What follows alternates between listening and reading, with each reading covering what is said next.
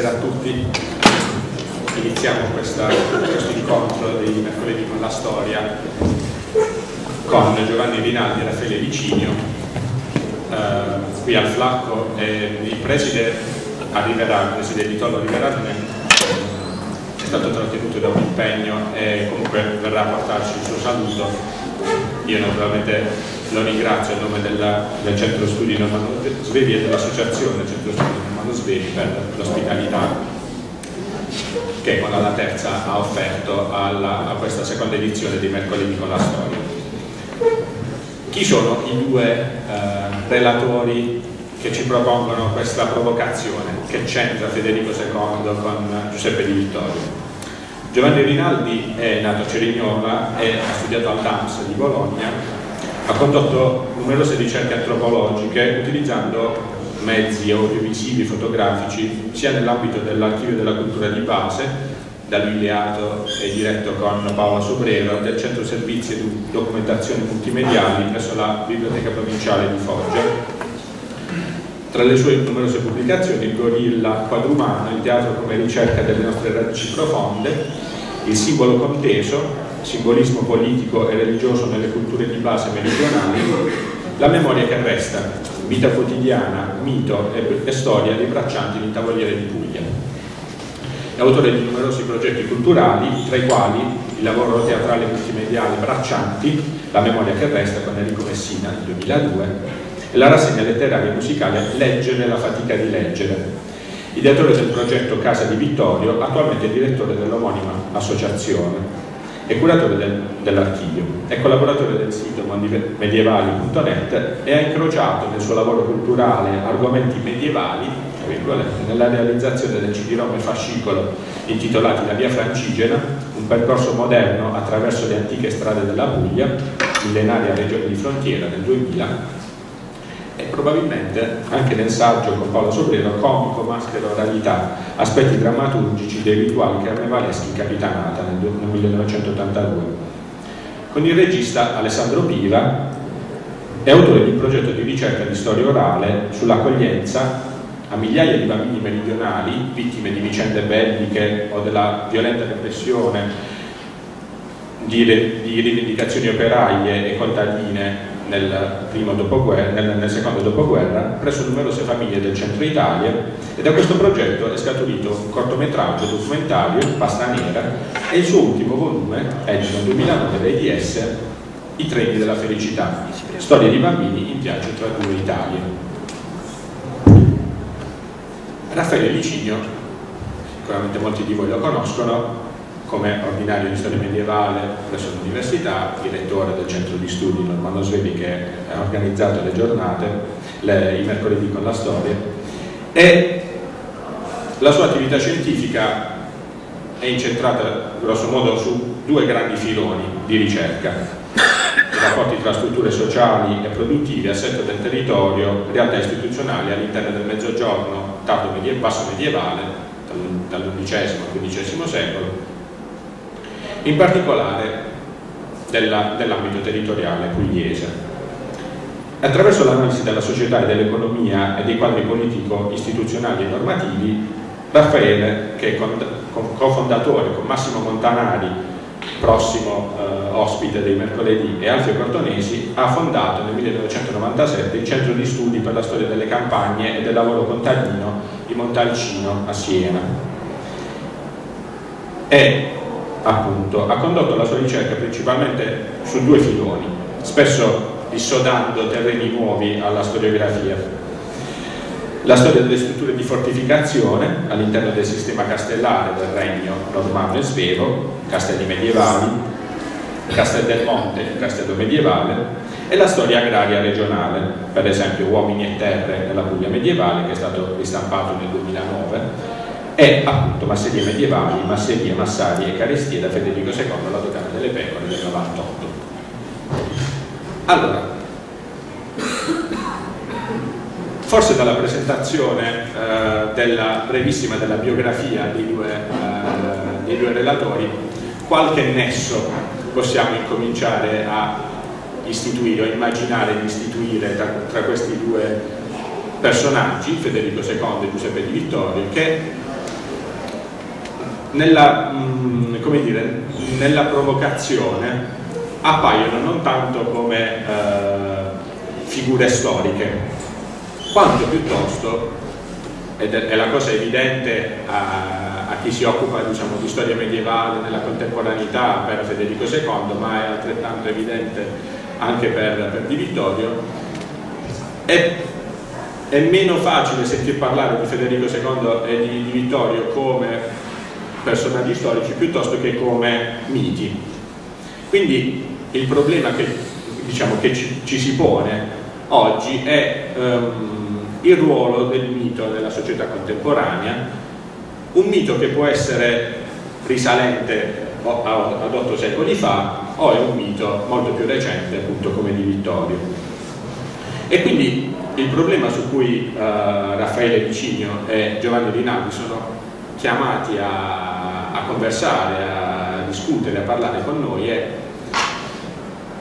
che idea um, all'interno della, um, della, cultura contemporanea in Puglia c'è di due personaggi icone come Federico II e Giuseppe Di Vittorio. Si può proporre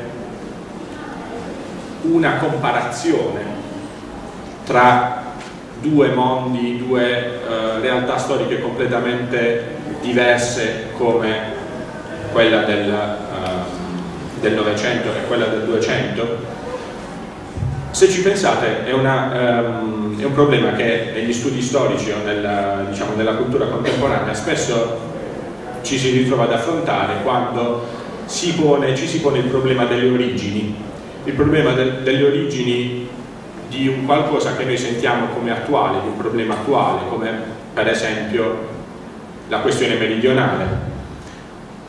Ha senso e in che misura ha senso trovare o cercare di indagare le radici di un problema che si manifesta in tutta la sua evidenza nell'Ottocento nel Novecento addietro al 1100 al 1200 quindi in sostanza diciamo che abbiamo un problema di metodo che idea di medioevo c'è nella contemporaneità, che tipo di rapporto possiamo istituire tra secoli molto diversi e molto lontani tra di loro. Se è possibile fare storia comparativa in senso diacronico, paragonare l'impero romano all'impero degli Stati Uniti d'America, o paragonare appunto le masserie federiciane alle masserie ottocentesche, novecentesche, E questo um, mi è venuto, uh, diciamo, il problema forse nemmeno consapevolmente uh, mi è venuto dalla lettura uh, del, anche solo del titolo del, dell'ultimo libro di, di, Giovanni Rinaldi, cioè I treni della felicità, che si conclude appunto con storie di bambini in viaggio tra due Italie. Allora molti eh, di voi penseranno alle due Italie di Abulafia o alle due Italie che sono diciamo, una locuzione tipica del meridionalismo, il rapporto tra nord e sud, la, la, la rivista di, di Compagna, no? nord e sud. Um, queste due Italie, di cui appunto si è parlato anche età, per l'età medievale, il sud arretrato e il nord mh, progredito, avanzato tecnologicamente, avanzato finanziariamente, avanzato tanto da colonizzare il sud.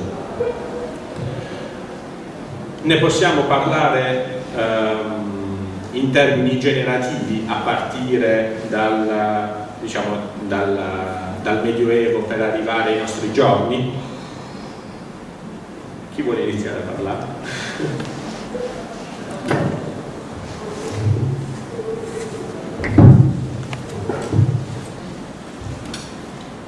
C'entra caro Wojtyła con l'aeroporto di Bari?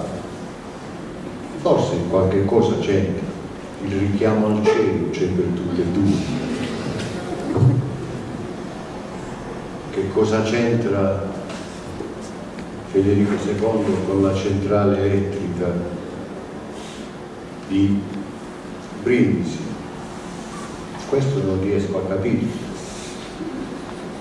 ancor meno riesco a capire che cosa c'entri Federico II e il suo Castel del Monte con una lista presentata alle elezioni regionali del 2005. Devo dire, una lista di destra. Che cosa c'entra Federico II con la pizza? La pizzeria, le pizzerie, il pomodoro? Non ci scandalizziamo mica se la centrale di Brindisi ha questo nome, però rimaniamo sorpresi, attoniti a una domanda che ha più carte da giocare nella discussione come quella di stasera. Che c'entra Federico II con c'è da rimanere sorpresi. Non è giusto che si manifesti stupore per una equiparazione che, come diceva giustamente Violante, non intende porsi all'interno di una storia comparativa, di una storia dei miti, sì, perché se Federico II è un mito e non lo è. E se Di Vittorio è un mito e non lo è, se sono due miti si trovano fuori dalla storia e quindi li possiamo tranquillamente paragonare se non sono prodotti storici ma se sono delle entità metastoriche che cosa c'è di sbagliato? li collochiamo fuori dalla storia e parliamone come di miti, non di personaggi storici. Voglio dire che io posso anche parlare del mito di Achille o di Venere e paragonarlo a un mito di età medievale. Eh, Alberto Raggiussato. Tanto sono fuori dalla storia come miti, posso dire quello che voglio, anche intestare loro un partito politico o una centrale che tra l'altro è sotto inchiesta per inquinamento. Tutti i giornali dicono quella è la, la centrale che ha il nome del grande imperatore Svegli, che certo non accetterebbe questo nome, pochissimi dicono eh, ma è sotto inchiesta per inquinamento. Allora, è un mito Federico II, nella cultura di massa, così sempre. E se così fosse, parlo per Federico II, perché è quello che conosco, se così fosse, che cosa ci sarebbe da stupirsi? Non è che li decidiamo noi qua, o con un corpo di, di spugna cancelliamo il mito di Federico II, e chi è così matto? Casomai a me come storico interessa chiedermi perché è un mito, presso chi è un mito, quando è nato come mito e per caso se c'è qualcun altro della sua famiglia che in qualche altro luogo rappresenta un mito. Per esempio il figlio Enzo che a Bologna è un mito, tant'è che gli è stato dedicato un convegno qualche anno fa dal titolo eh, Il mito di Enzo Dunque, che uno sveglio possa essere un mito, nulla di sorprendente. E uno storico non ha nessun diritto di intervenire in questa creazione metastorica se non quello di chiedersi perché è preso. Ma qui c'è altro. E io credo che questo stenti a entrare nella consapevolezza anche della cultura diffusa. Federico II non è stato ridotto semplicemente a un mito, è stato visto come qualcosa di più e di diverso quello che i francesi, quello che gli inglesi prima e poi francesi dopo hanno chiamato mito motore, che non è il mito, Il mito motore è un mito fondante che fonda le identità.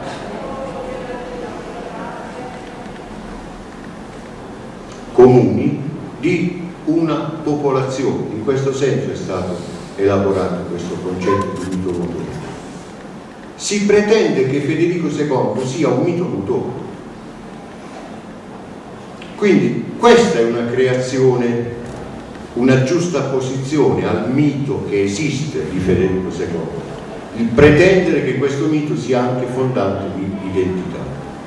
Quali identità? Quella della Puglia, quella dei pugliesi, e allora ricadiamo nel solito ritornello. Puera Puglia, ma del resto l'avete visto, l'avete letto nel libro di Uber, oltre che nei saggi che stiamo scrivendo da decenni su Federico II, la Apulia di cui Federico sarebbe il puer non è la Puglia regione. E non mi sembra che Federico II in qualche modo abbia fondato l'identità dei campani o dei calabresi. Oppure noi ce ne dimentichiamo sempre dei sardi. Allora mi interessa capire se per caso la fondazione del mito motore Federico non è una scelta fatta a tavolino da qualcuno. Gli anni 30, gli intellettuali, gli studiosi di storia locali convocati a Roma dal regime con la richiesta esplicita trovateci una radice. Possibilmente una radice che esalti il collegamento tra l'Italia fascista e il grande Reich e chi se non Federico II? Viene proposto da questo pool di studiosi locali, non di storici, ma di studiosi locali, il nome di Federico per rappresentare l'identità della Puglia. È lì che c'è una deformazione prospettica, è quello l'errore. Le identità della Puglia, le identità delle Puglie, delle Puglie, che sono almeno tre, hanno qualche cosa a che vedere con i rapporti con l'Oriente? Noi baresi possiamo dimenticare il fatto che il mito motore di questa città, l'identità cittadina nasce con l'arrivo delle ossa di Salicone. Che c'entra Federico II con questo momento di nascita di una identità. Hanno voluto presentare Federico II come la bandiera di questa identità pugliese, poi fatta propria criticamente da chi ha confuso il, mito motore con il mito. E oggi si dà per scontato qualche cosa che a uno storico appare allucinante semmai a voler essere buono, Federico II fa parte, fa parte delle identità pugliesi, così come un re, un sovrano spesso ignorato, ma decisivo nella conformazione attuale del, dei territori pugliesi come l'aragonese Alfonso, che alla metà del 1400 crea la dogana della mina delle Petre. Chi è che ha inciso di più sulla storia del territorio? Federico II o Alfonso d'Aragona? Quindi per quanto mi riguarda va bene considerare Federico II un mito, ormai non si nega più a nessuno questo. Questo titolo di mito è talmente inflazionato, ben venga anche a Federico II se, se lo può essere eh, eh, Alberto Raggiussano perché non lo deve essere Federico II a maggior ragione lo è Ma il punto non è questo, che si pretende qualche cosa di più da Federico II, che Federico II non può dare. Ed è il fatto di essere la radice della pubblicità. Questo è sbagliato. Questo mi sento di dire in prima battuta sul mito di Federico II. Io voglio capire anche perché un di Vittorio non è entrato nella cultura comune come un mito o forse lo è, io noi non ce ne siamo accorti perché purtroppo di Vittorio non ha costruito nessun castello ottagonale. Non è stato, come è stato chiamato Federico recentemente, l'ultimo faraone. Più l'ultimo sindacalista vero, ma questa è un'altra storia.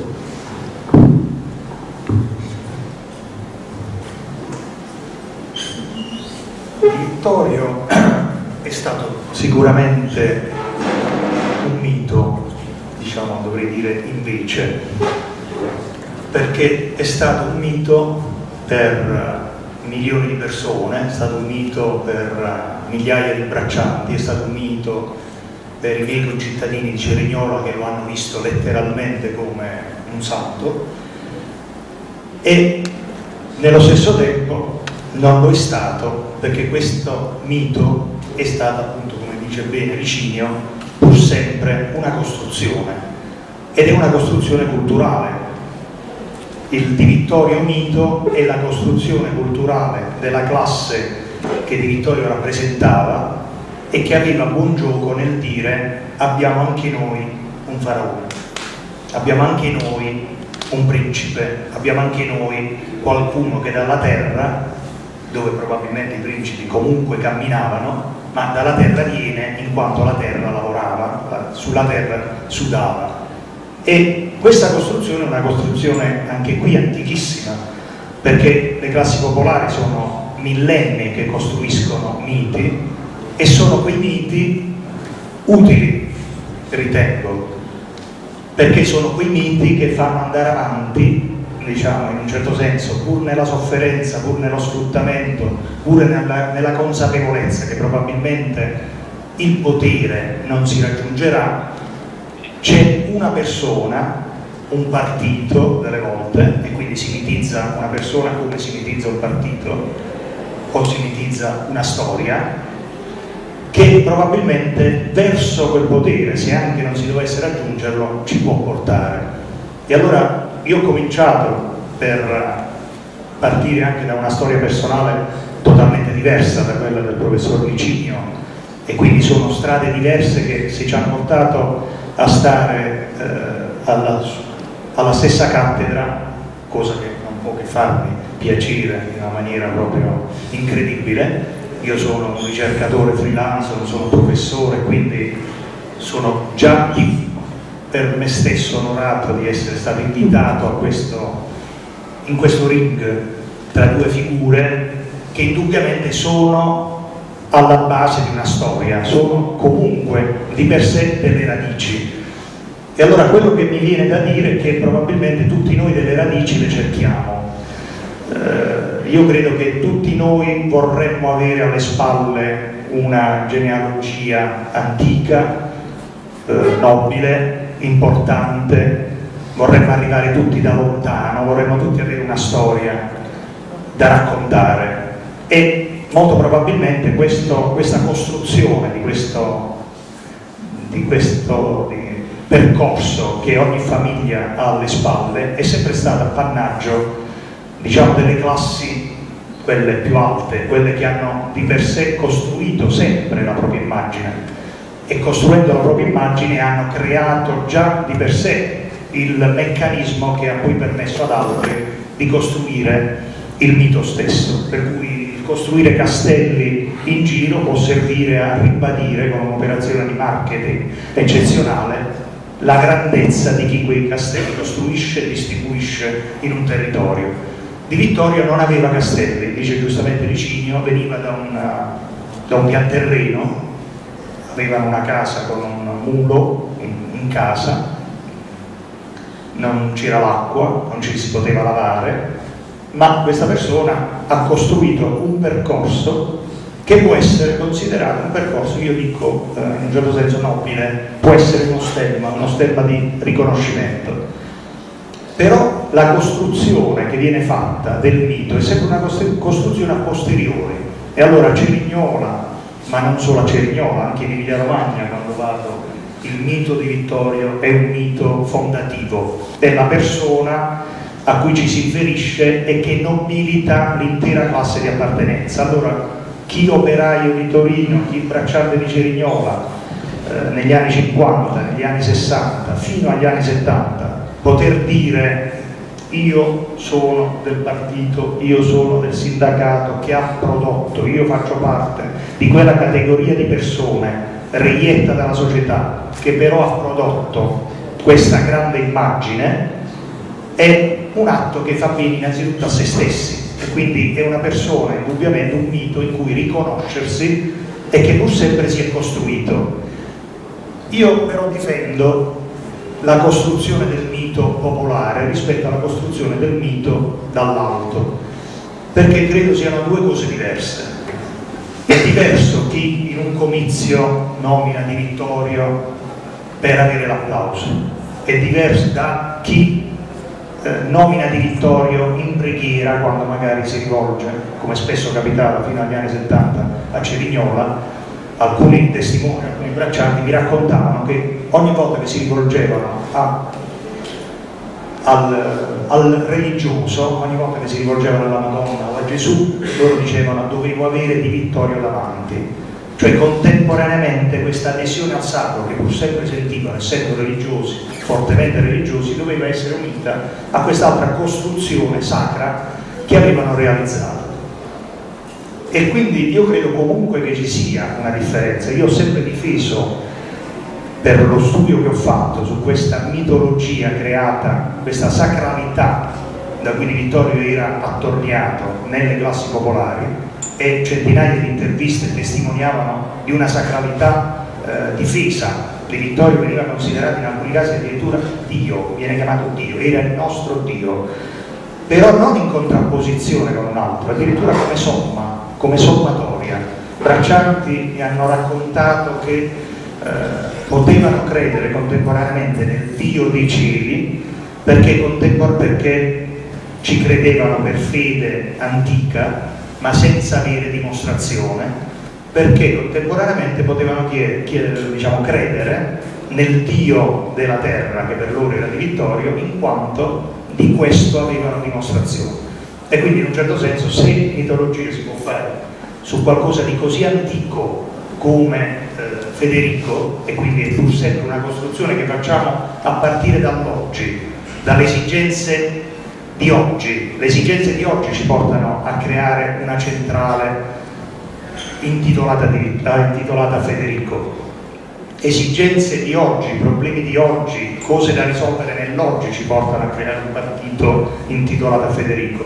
Ma io credo che anche esigenze di oggi continuano a far chiamare la terra di Capitanata, la terra della Daunia, il tavoliere, terra di Vittorio, quando contemporaneamente a questa icona che è pur sempre icona, ci sono 30.000 braccianti africani che vengono a lavorare in quella stessa terra che viene definita terra di Vittorio e in cui di Vittorio non è rimasto nulla perché se 30.000 persone arrivano d'estate per tre mesi e vengono lasciate morire al sole letteralmente senza avere acqua e solo con l'intervento dopo anni e anni della regione si è riuscito a portare qualche cisterna d'acqua, non risolvere il problema dell'acqua, ma portare alcune cisterne d'acqua, perché normalmente bevono gli immigrati africani che vengono a, a raccogliere il pomodoro, bevono dai pozzi che sono tutti inquinati chimicamente. E quindi noi accettiamo tranquillamente, noi che siamo quelli che hanno questo mito, il mito di Vittorio, viviamo in una terra in cui di questo mito non c'è nulla.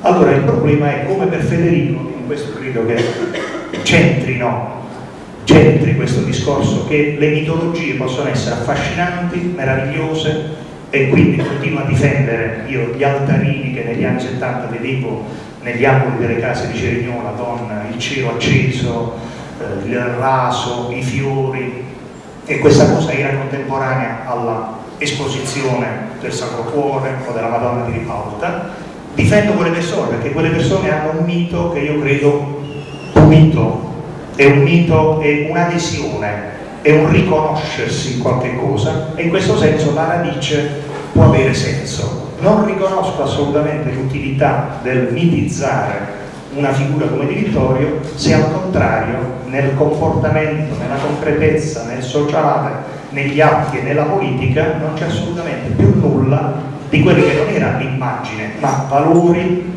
sofferenza, fatica, organizzazione, quelle cose che Di Vittorio ha fatto storicamente per cambiare le condizioni della classe in cui è nato, che sono cose storiche, oltre che politiche, per cui sintetizzando e chiudendo, di Vittorio ne parlavamo oggi pomeriggio con Licinio per prepararci a questo round, eh, in un certo senso Di Vittorio forse non si è capita la portata storica del suo lavoro politico e quindi lo si limita molto probabilmente alla politica quando non solo di politica ha vissuto e non solo di politica può parlare e di Federico probabilmente non capiamo la portata di Federico la portata politica rispetto a quello che ci sembra essere solo una grande e bella storia con cui metterci uno stemma diciamo in petto per ritenerci un po' qualcosa meno che i braccianti che abbiamo alle spalle.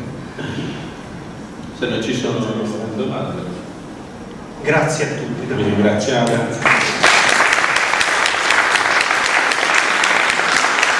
prossimo il prossimo mercoledì con la storia è il 13, credo, 13 gennaio alla terza.